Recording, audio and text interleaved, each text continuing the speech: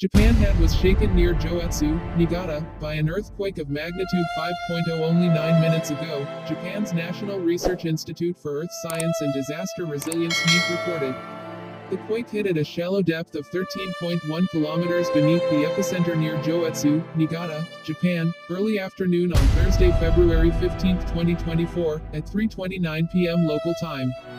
Shallow earthquakes are felt more strongly than deeper ones as they are closer to the surface. The exact magnitude, epicenter, and depth of the quake might be revised within the next few hours or minutes as seismologists review data and refine their calculations, or as other agencies issue their report.